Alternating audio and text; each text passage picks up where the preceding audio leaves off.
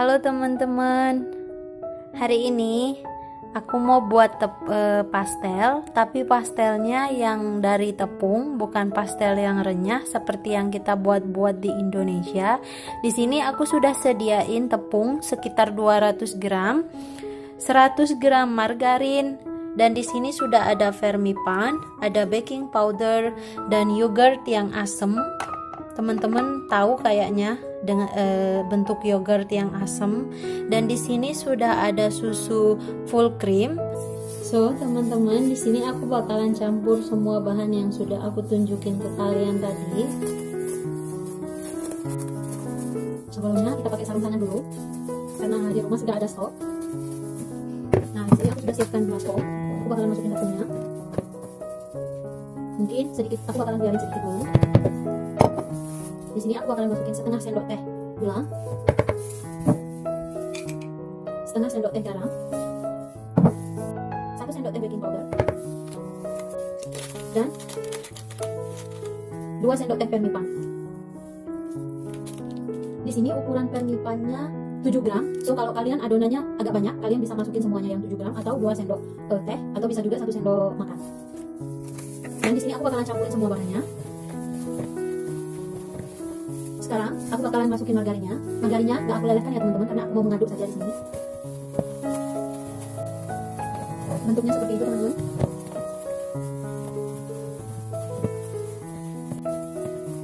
Jika adonan sudah menggumpal seperti ini sekarang kita masukin yogurtnya di sini aku bakalan pakai yogurt asam sekitar 2 sendok teh. Seperti ini ya teman-teman. Ini sudah cukup. Agar hasilnya benar-benar lembut aku selalu pakai yogurt di adonan apa saja kecuali cake. Karena kalau kita memakai yogurt di roti hasilnya benar-benar teksturnya benar-benar lembut banget teman-teman. Jika adonan sudah tercampur rata kita masukkan susu cairnya. Nah hasilnya seperti ini teman-teman yang menggumpal seperti ini. Dan di sini masih ada sisa tepung yang tadi kita sisihkan dulu.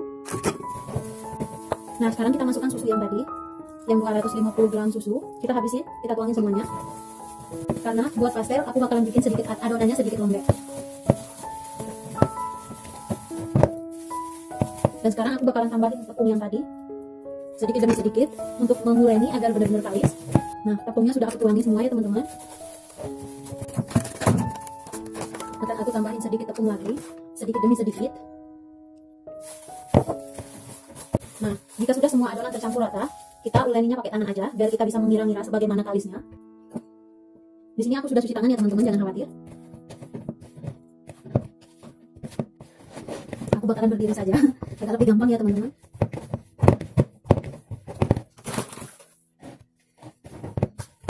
Sekarang kita uleni di meja ya teman-teman di meja dapur. Uleninya pakai ini ya teman-teman jangan pakai jari. Seperti mencuci baju. Taburin sedikit tepung agar tidak lengket di meja. Uleni selama kira-kira 10 menit. Kalian bisa mengira-ngira sampai mana kalisnya dan jika sudah tidak lengket di tangan berarti itu sudah kalis dan kalian bisa diamin adonannya selama setengah jam. Jika masih lengket seperti ini kita bisa tambahkan sedikit tepung lagi sedikit demi sedikit. Nah sekarang teman-teman bisa lihat sendiri ini sudah tidak lengket.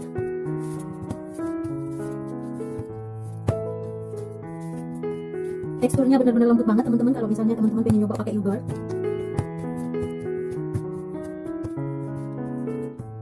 Jangan lupa dibanting-banting juga agar hasilnya bagus kita tambahin tepung di mejanya biar tidak lengket. Jangan lupa baskomnya kita kasih sedikit minyak agar adonan adonannya tidak lengket ketika kita diamkan di sini. Karena dia nanti bakalan mengembang. Ini dia adonannya teman-teman. Cantik kan sekarang kita diamin.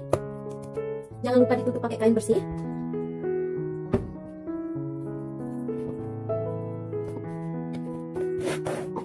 buat adonannya teman-teman nah teman-teman lihat ini sudah tidak lengket di tangan.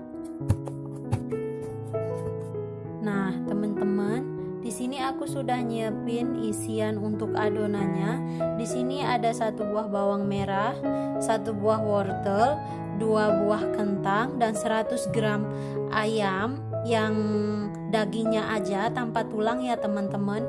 Dan di sini ada sedikit jagung juga dan untuk bumbu-bumbunya di sini sudah aku siapin. Sedikit merica lada dan kunyit.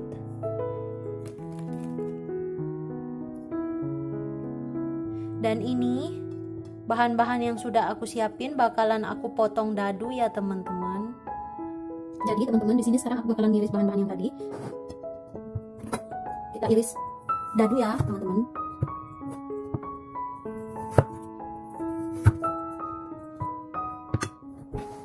Aku bakal berdiri saja teman-teman biar lebih enak.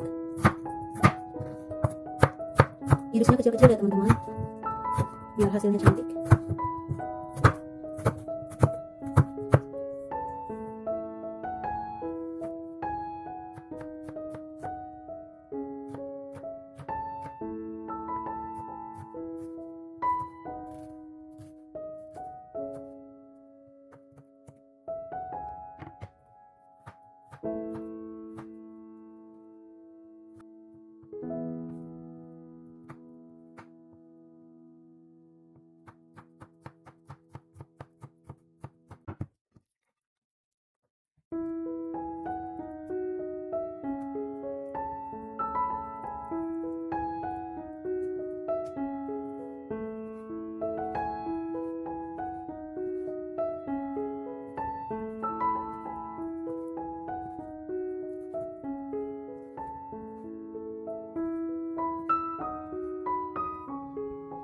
Nah, teman-teman di sini aku sudah menyiapkan penggorengan dan aku tambahin sedikit minyak untuk menumis bawang merahnya. Tumis sampai benar-benar aromanya tercium harum. Nah, sekarang ketika bawang merahnya sudah berubah warna, kita masukin ayamnya. Nah, teman-teman, ini dia ayam yang tadi. Sekarang kita bakalan tambahin sedikit garam setengah sendok teh garam sedikit lada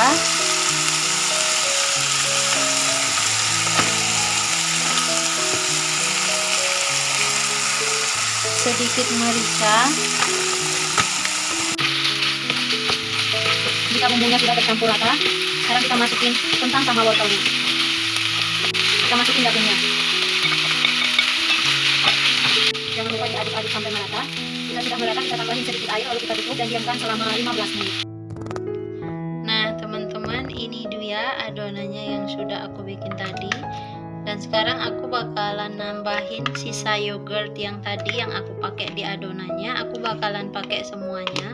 Di sini ukur, ukuran yogurtnya 190 gram ya teman-teman. Jadinya di sini aku bakalan pakai semuanya Nah, sekarang kita campur. Jika teman-teman tidak punya yogurt, teman-teman bisa ganti pakai mayonis. Tapi kalau untuk adonannya, kita tidak bisa ganti pakai mayonis, harus pakai yogurt. Sekarang tinggal aku cetak adonan yang sudah aku buat tadi. Dan di sini aku sudah nyiapin keju. Di sini aku nyiapinnya keju mozzarella. Teman-teman juga bisa pakai keju lain lainnya dan batangan juga nggak apa-apa tapi aku lebih suka yang seperti ini karena teksturnya benar-benar enak dan lembut. Nah teman-teman ini dia adonannya yang tadi. Sudah benar-benar elastis banget. Tuh lihat. Dan sudah mengembang juga. Dan sekarang aku mau ngebentuk jadi seperti pastel. Nah, teman-teman, sekarang di sini aku bakalan nyetak adonannya. Jangan lupa mejanya ditaburin sama tepung supaya tidak lengket. Dan sekarang kita bentuk adonannya menjadi tipis. Nah, adonannya jadi seperti ini ya, teman-teman. Di sini aku sudah menyiapkan cetakan yang untuk pastel, tapi jika teman-teman tidak punya cetakan ini, teman-teman juga bisa ngebentuk pakai tangan. Nah, teman-teman, ini dia adonannya yang tadi sudah aku bentuk. Nggak terlalu tipis ya teman nggak terlalu tebal ya teman-teman. Agak tipis lah pas-pasan gitu. Dan ini dia isian yang tadi sudah aku buat dan kita taruh sedikit saja sekitar satu sendok setengah teh isian. Dan di sini sudah ada keju. Kita tambahin sedikit keju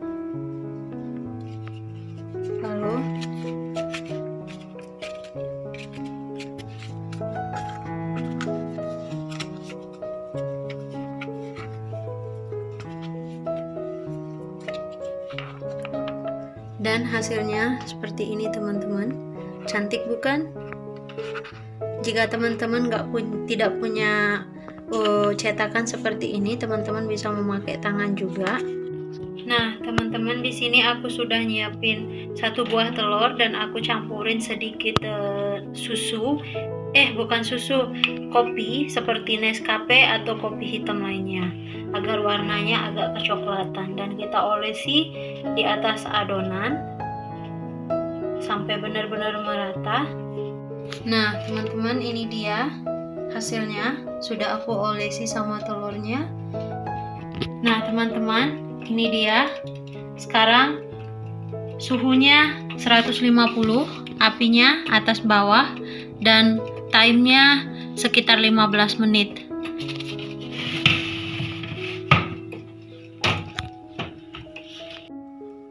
nah teman-teman ini dia hasilnya yang tadi. Cantik bukan? Bener-bener cantik banget. Dan ini isinya tekstur kejunya benar-benar lembut sekali. Dan teman-teman bisa lihat isian dalamnya cantik sekali. So now you can test it. Thank you. You're welcome. It looks very perfect I, I don't think so